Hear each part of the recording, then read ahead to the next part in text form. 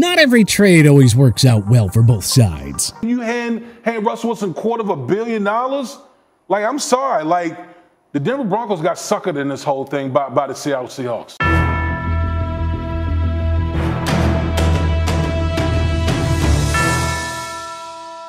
It's time to reflect on the many blockbuster trades of the offseason. So let's return to report card season and hand out new grades for the 12 biggest trades of the 2022 NFL offseason. Russell Wilson heads to Mile High City. Broncos country, Let's ride. When we first graded this trade, we gave the Denver Broncos an A+. plus. We thought he was the final piece needed to help the Broncos make the jump to Super Bowl contention. My mistake. Wilson cannot take all the blame for what went wrong in Denver. I mean, Nathaniel Hackett didn't even last an entire season. Losing standout running back Javonte Williams and wideout Tim Patrick put a huge dent in this offense, and the O-line was in shambles all year. Maybe a new head coach and a rebuilt O-line will help Wilson rebound in 2023, but for now, this looks like a disaster for Denver. Wilson signed a five-year, $245 million extension before playing his snap for the Broncos, who now lack the draft capital to rebuild their roster roster.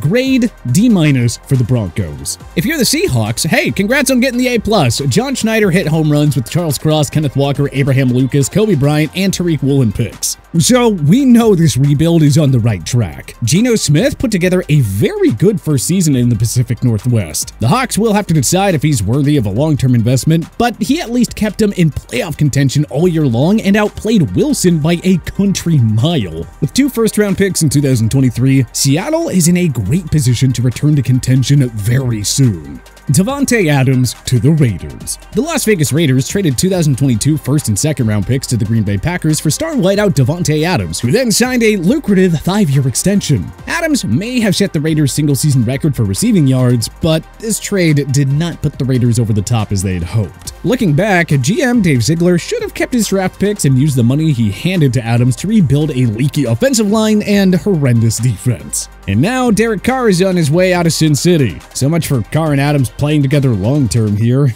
At least the future Hall of Famer put up good stats, so the Raiders get a C instead of a flat-out F. The Packers used their 2022 first-rounder from Vegas on linebacker Quay Walker, who is looking like a key long-term building block on that defense. They also found a future star wideout in Christian Watson with the number 34 pick, and he really elevated the offense once he got healthy. Having Adams all season long could have helped Green Bay avoid a mega first-half slump on offense, though. So, we're gonna give him a B for now. But we could look back on this as an A-plus home run move a year or two from now.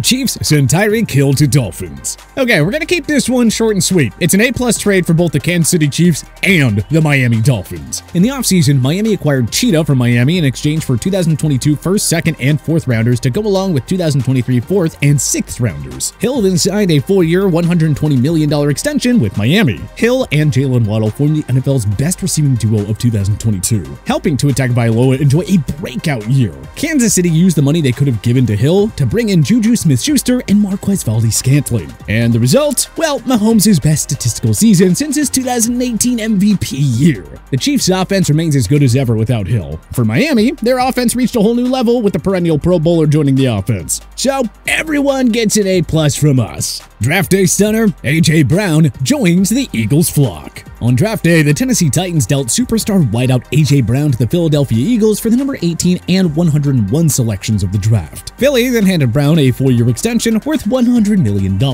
This one, too, can be kept short and sweet. Brown became Philly's top wideout and helped Jalen Hurts turn in an MVP-like season, and the Eagles are back among the NFC's elite. So, A plus for the Eagles. The Titans, on the other hand, endured a brutal second-half collapse due to largely an inept passing game that had zero reliable game-changing pass catchers this season. The Titans fired GM Jon Robinson mid-season, and we kinda see why now. You just don't trade a young superstar in his prime for essentially lottery tickets. Tennessee used its first rounder from Philly on Treylon Burks, who has a long way to go in matching Brown's production. This all adds up to an F for the Titans. Too bad there's no mulligan on NFL trades. Colts swap Rock Ya-Sin for Yannick Ngakoue with Raiders. In March, the Colts traded away 2019 second round pick Rock Ya-Sin to the Las Vegas Raiders for pass rusher Yannick Ngakoue in a one for one swap. Ngakoue had a better career production at the time of the trade, but with the Raiders signing superstar Chandler Jones, it made sense to deal the former cornerback for help. Jones was a mega bust in year one with the Raiders, and Ya-Sin really didn't do much to fix Vegas' awful pass defense. So Vegas is gonna get an F here. As for Indy, well, this season was an absolute letdown and disaster in every aspect. But Ngakoue was their best pass rusher this year, so we're gonna give him an easy A. Swapping a mediocre starter for a Pro Bowl caliber talent is a nice small victory here for GM Chris Ballard.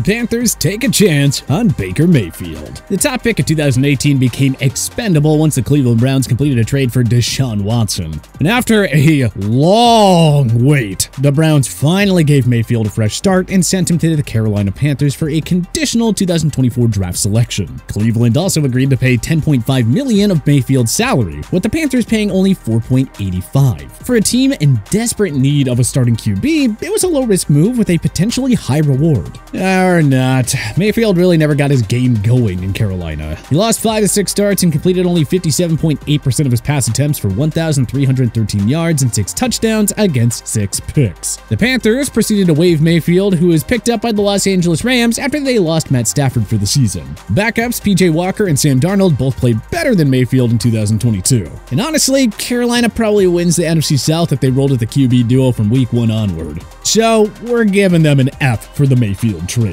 Cleveland, on the other hand, is getting a D minus grade from us because, well, they probably should have kept Baker as insurance until Watson actually returned from suspension. The Browns went 4 and 7 in games without Watson, so it's not crazy to think that they could have gone at least 6 and 5 with Mayfield there.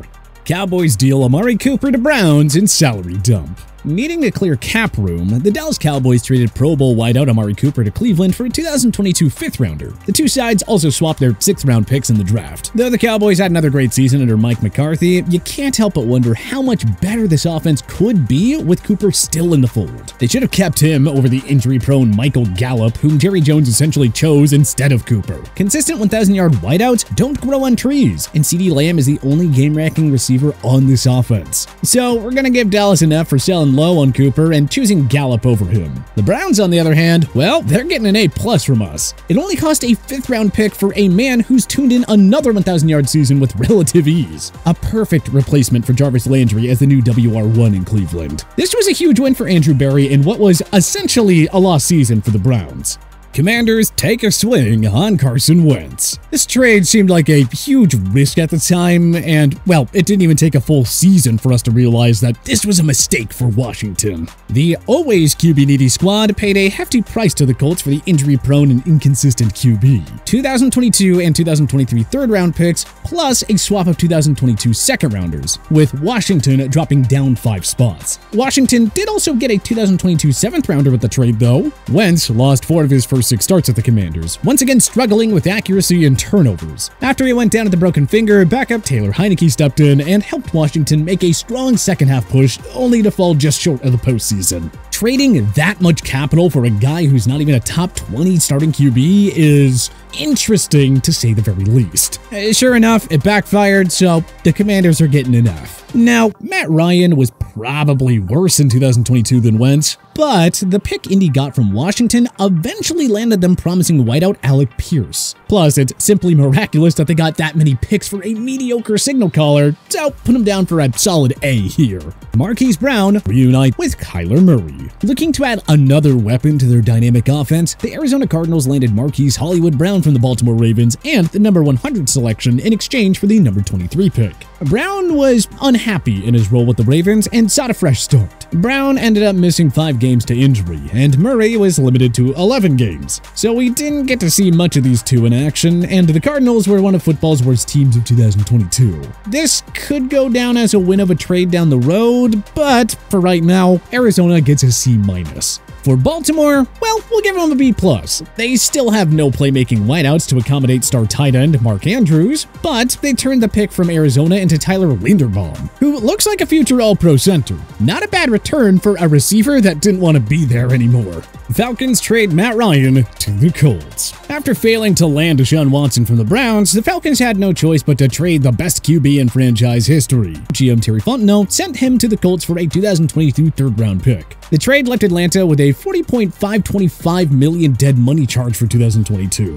Uh, but it was long overdue for this team to enter a rebuild. Sure, Atlanta got uneven play from Marcus Mariota and rookie Desmond Ridder, but they had to stop trying to squeeze out 7 to 8 win seasons with an aging QB. The Ryan trade finally put them on a proper rebuilding path, which is why we're gonna give them an A. As for the Colts, I mean, do we really need to explain this? F minus. Frank Reich lost his job. Jeff Saturday, hilariously, was named the replacement. Ryan was the starter when the Colts blew a 33 point lead to the Minnesota Vikings in Week 15, which was the largest comeback in NFL history. Yeah, back to the drawing board for a new QB.